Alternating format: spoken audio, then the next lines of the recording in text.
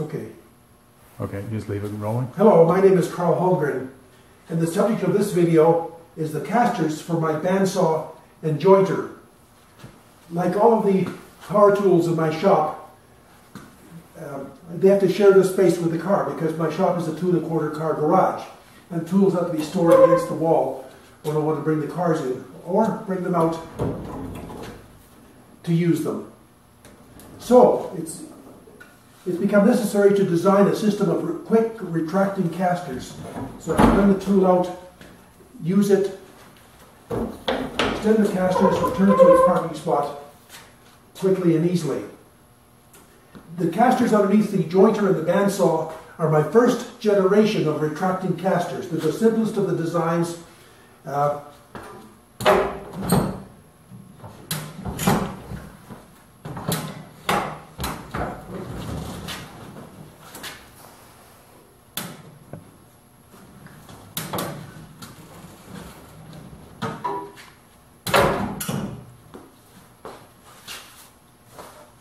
So what I'm going to do is, is offer plans for these casters.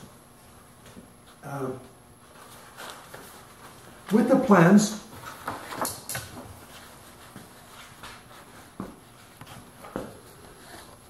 with the plans you'll receive drawings, exploded 3D view drawings of the bandsaw stand and its caster system an exploded 3D drawing of the caster system under the stand for the jointer,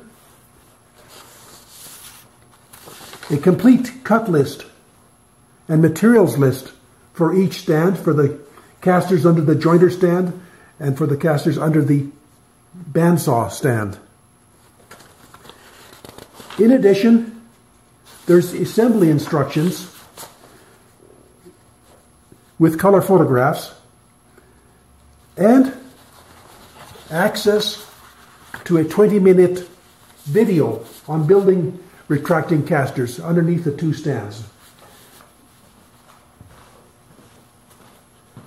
I'm, I'm going to sh show some excerpts of the video uh, showing construction of the uh, caster systems to demonstrate building retracting casters for these two units. I've removed the jointer from this jointer stand. I've mounted it upside down on my assembly table and parked the jointer in pieces to one side for the time being. Next, a rear caster mounting pad for the fixed casters, which pivots on the rear stand and two for the front swivel casters, two pivot blocks or caster mounting plates for the for the front or the swivel casters. These two are joined together with some heavy duty hinges.